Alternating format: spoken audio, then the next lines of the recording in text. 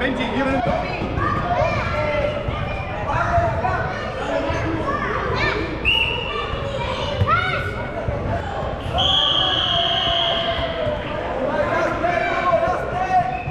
But we need to know how to pass and we need to know how to dribble.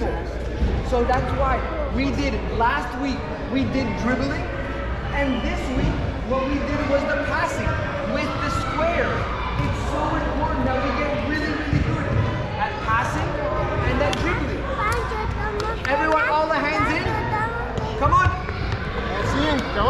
ready? One, two, three, go!